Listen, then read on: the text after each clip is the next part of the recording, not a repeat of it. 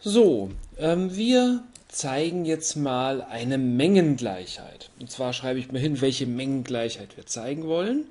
Und zwar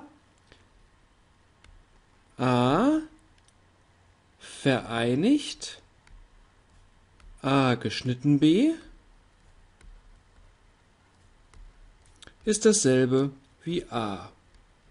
Also zuerst mal schneiden wir a und b, die beiden Mengen a und b, Anschließend vereinigen wir das Ergebnis mit a und was rauskommt ist a.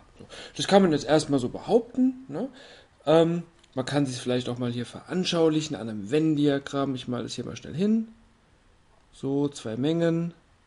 Das hier ist a und das ist b. Ne? Wenn wir jetzt erstmal a und b schneiden, dann ist es ja hier die Schnittmenge. Wenn wir diese Schnittmenge jetzt mit der Gesamtmenge a vereinigen, dann sieht man auch schon, ne, kommt A raus. Okay, jetzt haben wir uns am Venn-Diagramm visuell davon überzeugt. Jetzt möchte ich noch zeigen, wie man das formal beweisen kann. Diese Mengengleichheit hier, die besagt ja letztlich nach der Definition von Mengengleichheit, dass Folgendes zu zeigen ist. Folgende Aussage ist äquivalent zu zeigen. Für alle x gilt, x ist genau dann in der einen Menge, wenn es in der anderen ist. Also x ist Element von a vereinigt a geschnitten b, genau dann, wenn x in a ist. Das ist die Definition der Mengengleichheit. So, das ist eine Allaussage. Wir zeigen etwas für alle x. Und eine Strategie, etwas für alle zu zeigen, ist, naja, wir nehmen mal ein x raus, ein festes, aber beliebiges. Ne, wir schnappen uns irgendein beliebiges x, halten es aber die ganze Zeit durch den Beweis über fest. Letztlich zeigen wir es damit für alle. Also machen wir jetzt hier sei x, und ich kürze jetzt mal ab, fest, aber beliebig. Jetzt müssen wir diese Äquivalenz zeigen. Unser x, das wir uns gerade rausgegriffen haben, ist genau dann in der linken Menge, wenn es in der rechten Menge ist. Das ist jetzt ein klassischer Äquivalenzbeweis, den wir mit, einfach mit Äquivalenzumformung durchführen können. Und ich mache es mal so, wie wir es die ganze Zeit über auch gemacht haben. Ich schreibe den einen Teil mal links hin, also x Element a vereinigt a geschnitten b. Das gilt genau dann, wenn, das gilt und das gilt und das gilt und das gilt und so weiter und so weiter. Wir machen genau dann, wenn Umformung, Äquivalenzumformung. Und ganz unten, schreibt es jetzt mal hier hin, muss rauskommen, genau dann, wenn x Element a. Jetzt haben wir einen Startpunkt, wir haben einen Zielpunkt, das ist Problemlösen, jetzt müssen wir versuchen, vom Start zum Ziel zu kommen. Okay.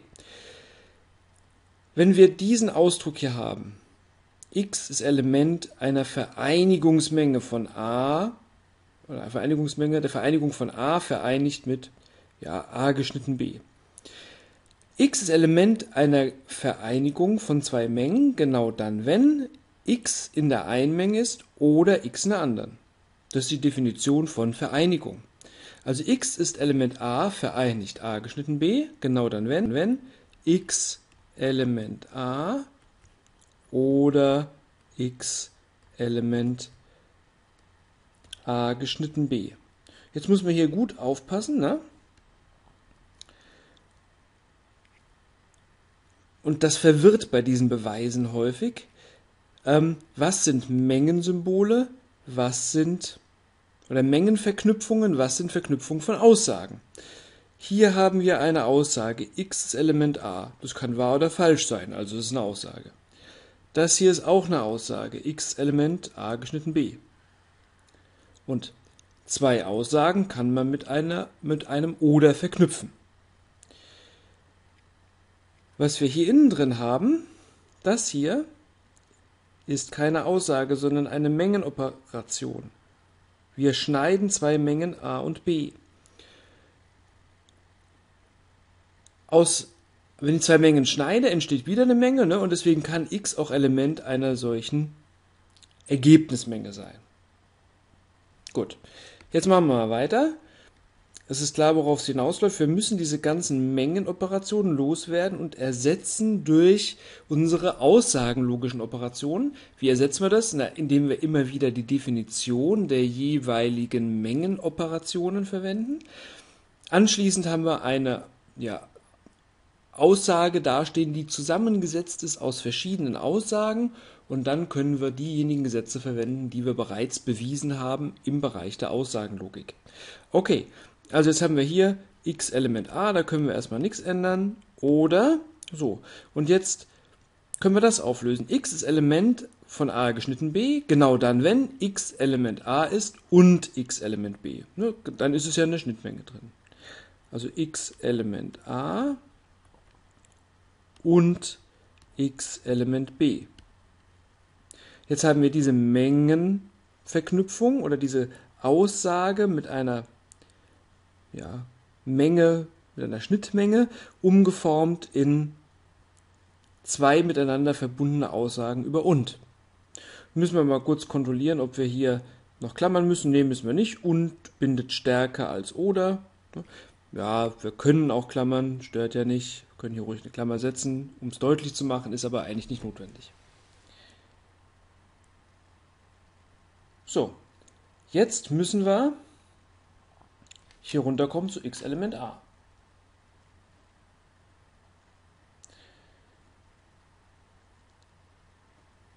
Jetzt haben wir einmal in, einem, in einer anderen Aufgabe folgendes Gesetz bewiesen.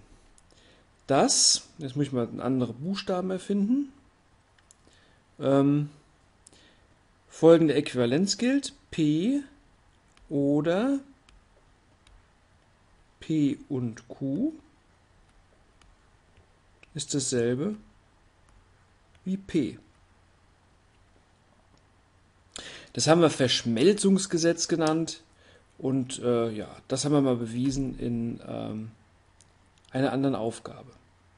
Okay, und jetzt sehen wir mal, also hier haben wir letztlich, jetzt versuchen wir das mal hier farbig zu markieren. Hier haben wir x Element a das nennen wir jetzt mal unser P. Ja.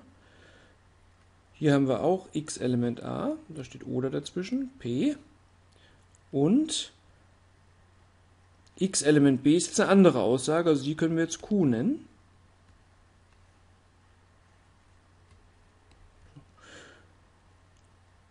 Diese Aussage hier hat also exakt die gleiche Struktur wie die hier und dann können wir diese Aussage vereinfachen zu P, also x Element a. Naja, und dann sind wir schon fertig.